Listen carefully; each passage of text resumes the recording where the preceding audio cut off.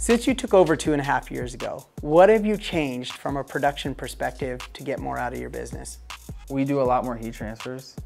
It was mainly, when we first started, it was mainly screen printing, some embroidery like that. Um, we knew about transfers, but we never really got into it. We only had one small press. The pandemic hit, and then all of a sudden we have clients asking us for full color logos on their masks, which we can only print one color.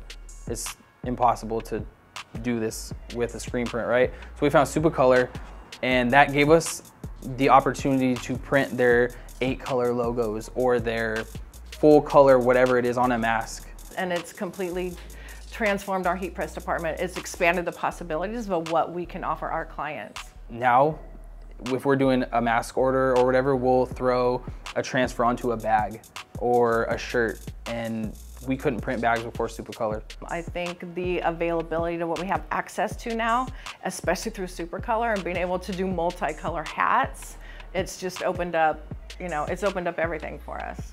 It's opened up like a whole new side of our business that was like completely untouched before that now is becoming actually like a substantial part of like our income and everything. It's awesome. It's cool.